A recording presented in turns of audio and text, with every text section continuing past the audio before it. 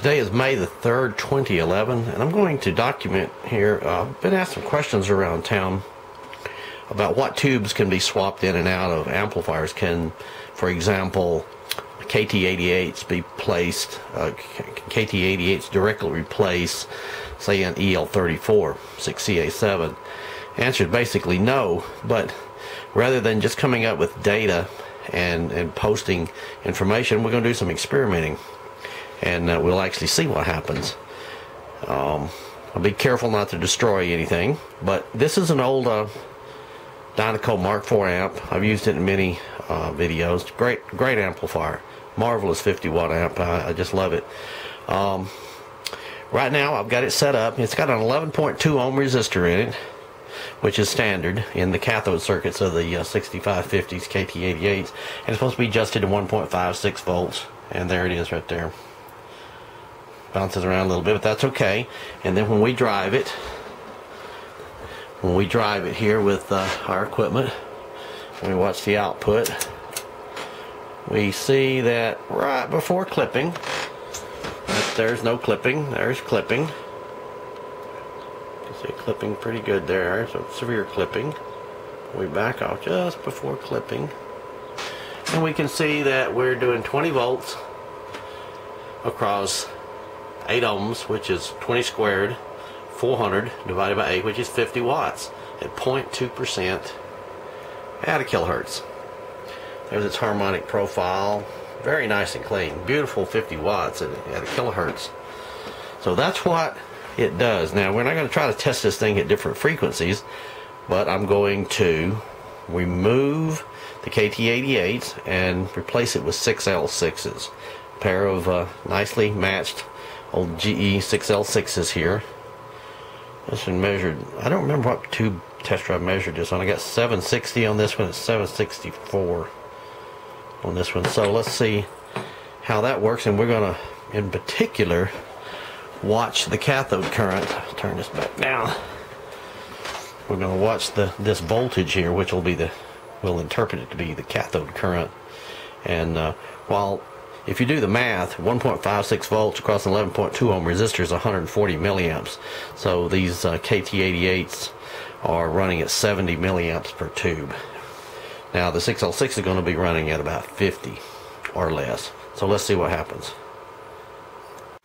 Okay, now we have the 6L6s in there. I have not touched any bias adjustments on the amplifier. Bias adjustment's right over here, but I'm not touching it. And we have 0.85 volts. And if we do the math here, the current, we want to know the current through E over R, um, 0.85. Darn glare, I can see it too. Uh, 11.2. 0.08, 80 milliamps. That's just right. That works great. So in this 6550 amp, 6550 KT88, you can directly pull out the KT88s and stick good 6L6s in there and end up with the right cathode current. Now, if we when we start adjusting and looking at our power and our distortion, let's do the same thing we did a while ago. Let's run it up to Eh, that's not quite as good, but a little rounding right down here I can see. But we get darn near the same thing, 19.7 at 2.75% distortion. So the distortion has gone up considerably. 19.7 volts. A while ago we had just a little over 20, so we still got almost 50 watts. We're running these 6L6s really hard, but if we um, if we back this thing down a little bit more here, let's watch our distortion. 1.3%. Let's drop it down. There we go. 1%, still 17 volts. There it is. 16 and a half to 17 volts at 1%. It's still not bad. 16 and a half, that'd be uh, 16.5 squared 8 divide. That's still, that's 34 watts. So we dropped from 50 watts to 34 watts. 34 watts is a, a good level for a pair of 6L6s, but we just simply pulled out the KT88s and put in 6L6s and it works and our bias voltage has not been changed and we're not we're not exceeding the uh, the cathode current on the 6L6s so this works but would it work the other way around? And the answer is going to be no because um, generally 6L6s are set at about minus 37 volts, 37 to 40 volts. The KT88s are set at minus 48. The voltage is quite high if, if you remember, if you've uh, tinkered around with these uh, Dynaco amps, it's up at 500 volts. It's a little bit high for the 6L6s. Probably not a recommended thing to do, but you could do it in a pinch. Probably wouldn't want to run it long term that way, but didn't even have to make an adjustment and it does work and it does work reasonably well. We're going to go to the um, an EL37 amplifier now, EL34, excuse me, the 6CA7, and do the same thing with the 6L6 and KT88, and we'll see. Okay, well here we go with another amplifier that uh, I've built in 1977. This is actually a uh, channel out of a old McIntosh MA230. It originally used 7591s here. I ordered this transformer direct from McIntosh back in 1977. Still got the original receipt. I think it cost about 30 bucks. It even surprised me that long ago. But anyway, it's it's that circuit with a 12AX7, 12AU7 driving the the two originally uh, 7591s. These are 6CA7s, the EL34s. It's got a um, bias adjustment for this tube, a bias adjustment for this tube, and then a, a balance adjustment for the driver. So I've got them all set up right now. It's balanced. Uh, these uh, two I've got set up for about 50 milliamps, which we'll be able to see right here on our meter. This is across the cathode of one of them. There it is. It's across 10 ohms, so that'd be uh, 53 milliamps move it uh, to the other test point we have about the same. Okay and as we crank it up well first we probably ought to watch the oscilloscope to make sure we don't clip too bad. There it is that's just below clipping. 18 volts 18.16 squared divided by 8 is its power which is a reasonable amount of power uh, we call it uh, 18.2. 18.2 squared 8 divide 41 watts, 41.41. So it'll do 40 watts. Uh, McIntosh rates it at 30, MA230. But anyway, so what we're going to do now is without changing anything, because remember we're still trying to see what we can directly substitute without making adjustments different tubes and I'm going to plug these same two 6L6s in there and watch it whoops and watch it very carefully. Okay now we have our 6L6s in there. None of this has been touched but we're monitoring this tube at the moment and it's running at about 68 milliamps. Too much. That's not it's going to work but it's not going to last long Let's move over to the other one. 65 to 66 milliamps. That's too high. If you plug it in, it'll work and you'll go, great, you know, that was great. That really worked.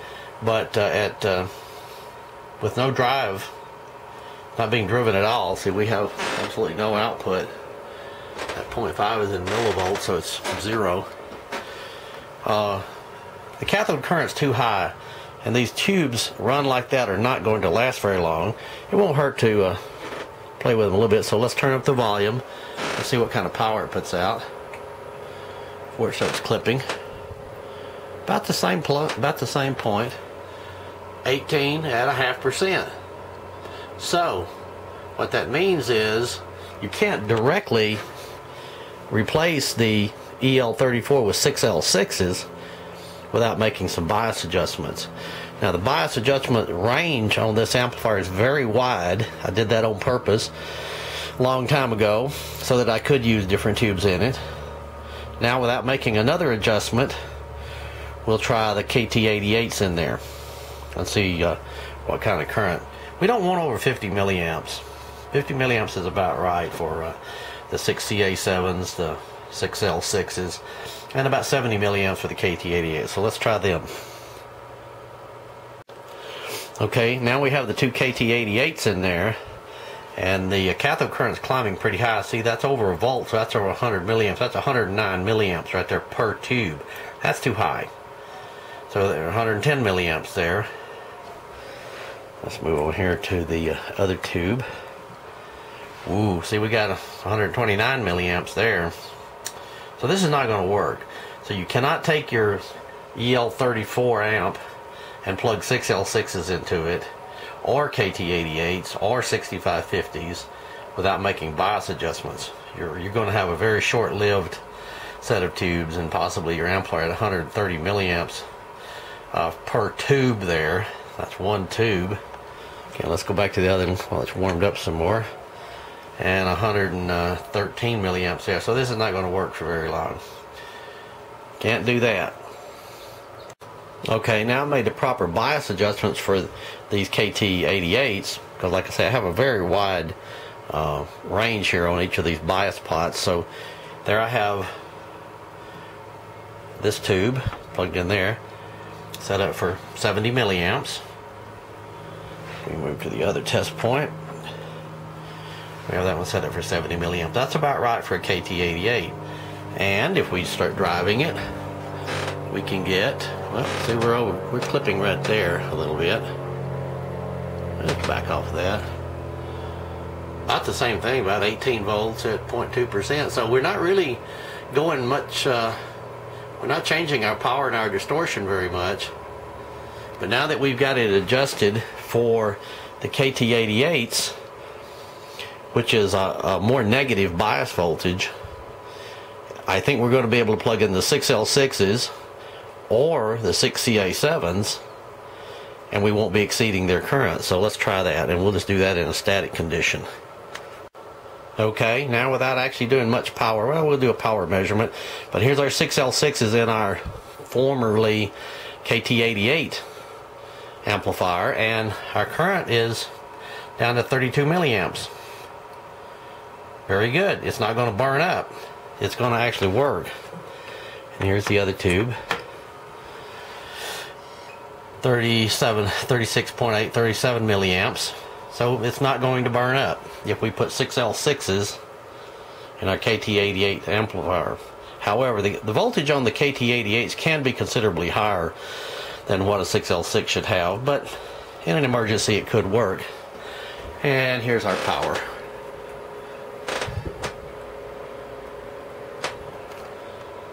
Uh, a little bit lower power, a little bit higher distortion.